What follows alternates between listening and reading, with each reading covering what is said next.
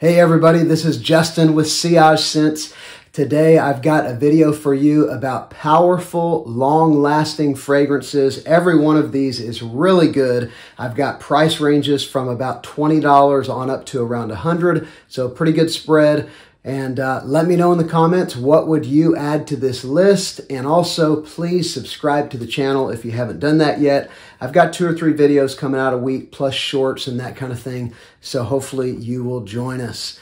Okay, now I will say about these, every one of them is going to last at least 8 to 10 hours, some of them significantly more than that. It's just often at the end of the day, after about 10 hours or so, I'm changing clothes and sometimes washing a fragrance off and putting on something new. So I'll comment on the ones that I know are beyond that $10, uh, 10 hour mark, uh, but all of these are really great performers. Okay, first up, I'll go with one that is a clone. I've got five clones and five original fragrances here. Uh, this is a clone that significantly outperforms the original. This is a clone of Silver Mountain Water by Creed. This is Armaf Club de Nuit Sillage. This one is a very interesting uh, spiced floral fragrance that has a distinct tea note and that has a distinct inky note that people will often comment on. This one surprised me. I quickly will go nose blind to this, as I believe most people will. Uh, there's a powerful ambroxan in this fragrance that sort of carries those other notes.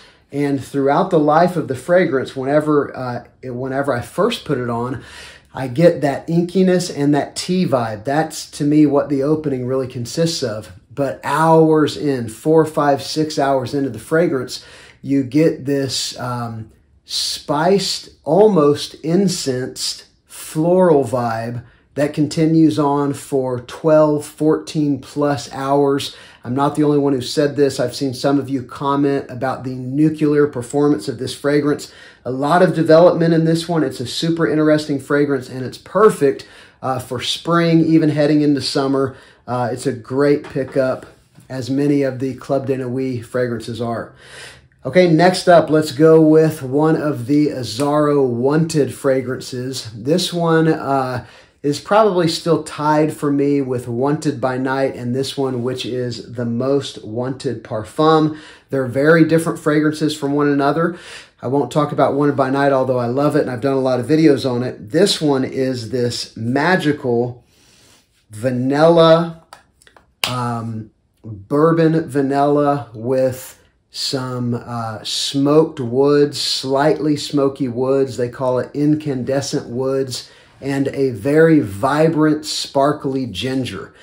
And the way that the ginger interacts with that uh, opening, which has a little bit of fruit of some sort, some kind of a citrus, although Azzaro doesn't tell you in a weird way, it reminds me a little bit of a blue fragrance just at the beginning. And then, of course, with the vanilla and the woods and the rest of that coming through, it quickly becomes something else. It's a pretty sweet fragrance. It's a powerful fragrance. It is a parfum, and the sillage of this thing is amazing. You'll be still smelling it on you eight hours into the fragrance. Whenever you're changing clothes, whenever I'm changing clothes at the end of a 10 hour day, I'm still smelling it on me. And this is an incredible fragrance. The prices haven't come down much on these. I saw them pretty cheap around Christmas time, but now the 100 mil is back up around $100 but probably within the next year, the price on this one as well as the EDP are probably going to drop. They're both great pickups. The whole line, other than the you know tonic and the original, uh, I really like. So, all right, next up, we'll go with one from Mancera. And this is one that's also pretty interesting because I don't have much that smells like this. This is Aoud Lemon Mint.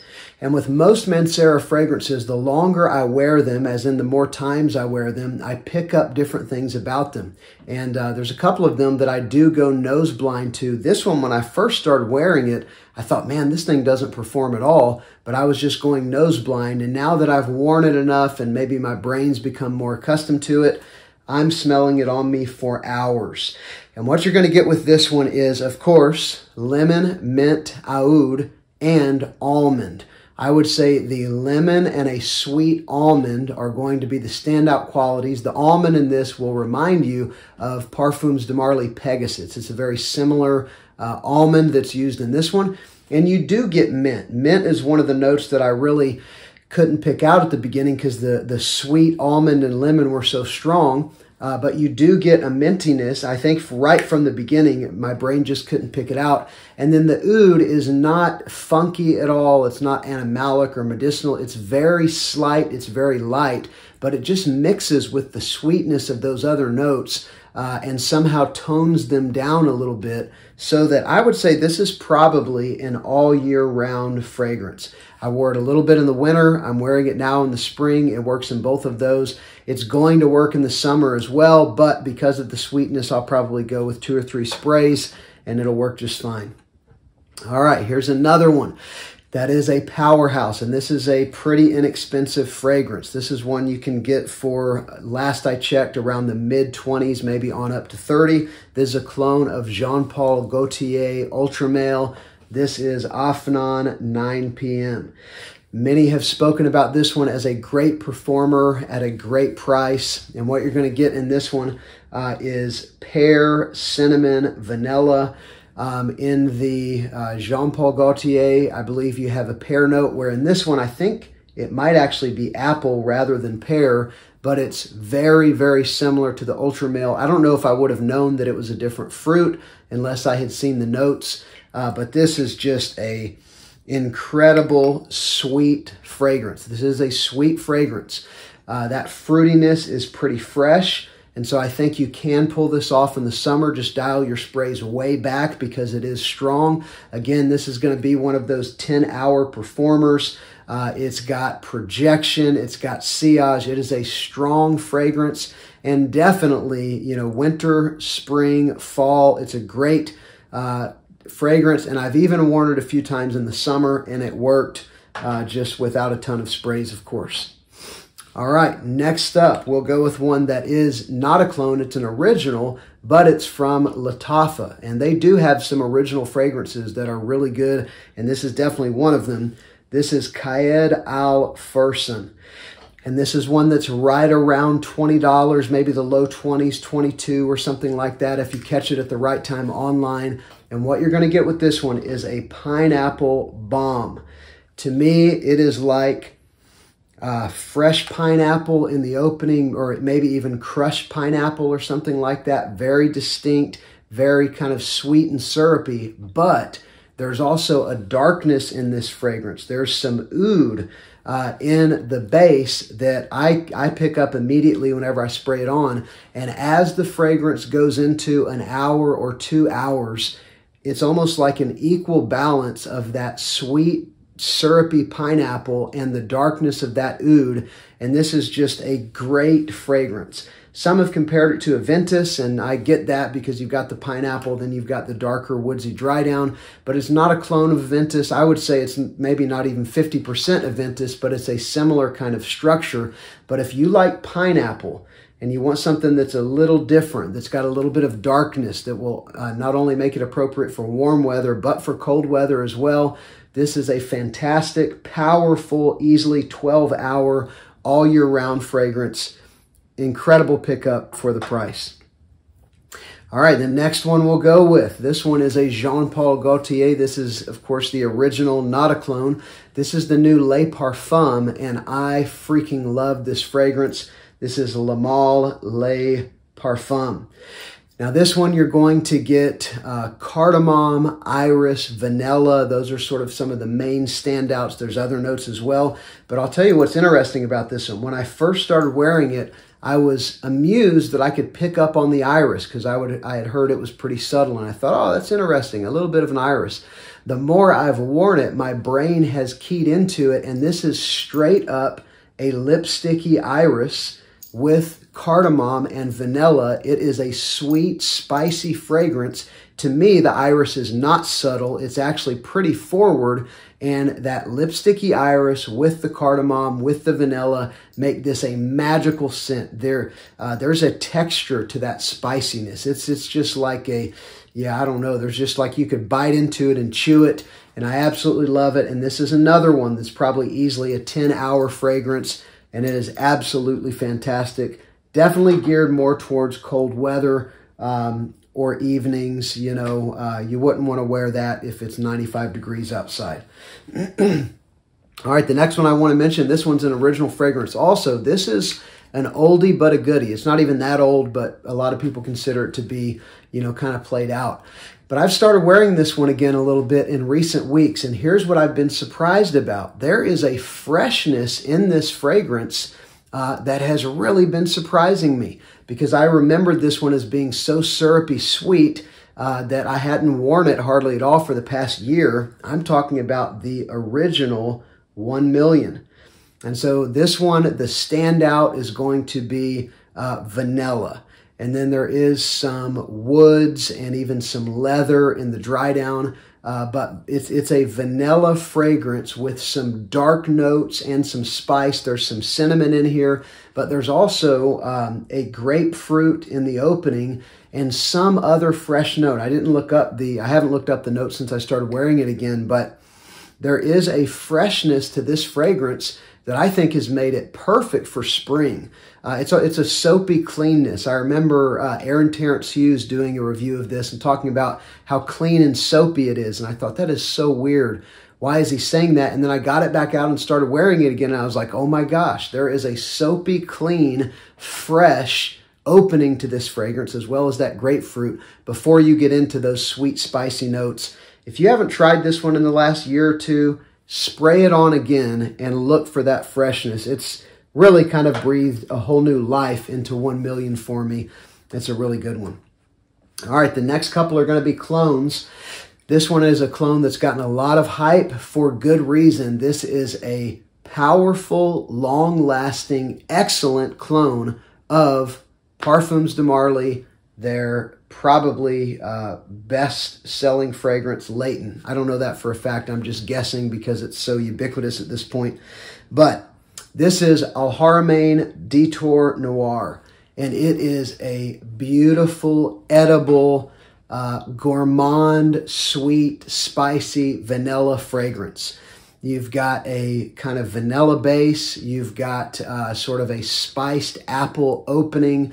Uh, you've also got a little bit of an aromatic quality, a little bit of a mintiness uh, that comes through in the opening. So this is sort of a uh, sweet, spicy, um, fruity, slightly minty or aromatic fragrance. And the reason I say gourmand is because whenever I spray this on, it makes me want to eat dessert. I've got a couple clones of Layton. This is still unquestionably, to me, the best price per mill Layton clone that I've gotten a hold of. And I, maybe there's others I don't know about. I've got the Alexandria clone as well. It's it's good, uh, maybe even a touch closer to Layton, but it's pretty expensive and it doesn't perform as well. This one is probably an 8 to 10 hour fragrance. I've heard some say even 12 hours, but definitely a good performer. You've got good projection, you've got good sillage. It's just a great pickup. Keep an eye out and you can get it for less than $40.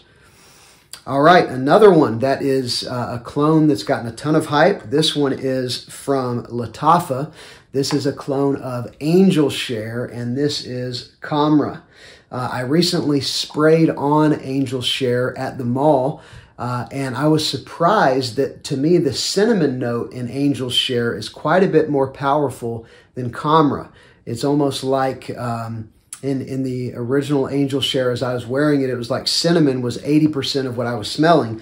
This one's definitely got a beautiful cinnamon in it, but it's also got a little bit, uh, of course, it's got a boozy quality. It's got a vanillic, ambery sweetness. Uh, it's got some uh, resinous weight to it. It's definitely got cinnamon and some other spices. Uh, and it's also got a little bit of an oudiness. Uh, it reminds me slightly of Lattafa's Amir Al Oud Intense, which is uh, a by the fireplace clone that's also got a little bit of an oudiness, but this one's like a marshmallowy, sweet, boozy, spicy fragrance.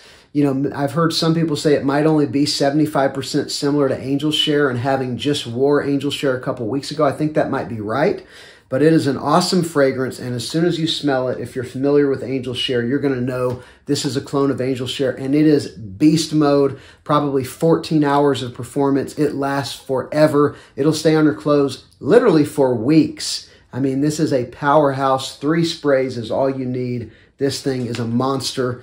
Incredible value. Smells amazing. All right, this last one. This is uh, an Armaf. Uh, that is a blend of several of the big iris fragrances. Um, it's like if you were to take uh, Dior Homme Intense, mix it with uh, Valentino Uomo Intense, mix it with Givenchy Gentleman EDP. That's the way I've heard it described. This is Armaf Odyssey Homme. This is the EDP. Go with the black version. The white one is supposed to be another great clone. I don't have that one yet, but it is on my list. But this one right here, you're going to blend those top tier iris fragrances together. You're going to get that leathery, chocolatey iris beauty. This is a really great one. Highly recommended. All right. Well, there has been 10 powerful and long lasting fragrances uh, I think you'd be happy with any one of these if the description sounds appealing because the performance is going to be satisfactory. But again, let me know down in the comments what would you add to the list. I've actually got about 25 more that I wanted to put in this. So I think I'm going to do several of these videos of powerful and long lasting. But I look forward to seeing yours and please subscribe to the channel and let's dialogue about these things together. I'll look forward to it. I'm Justin. This is Sillage Scents.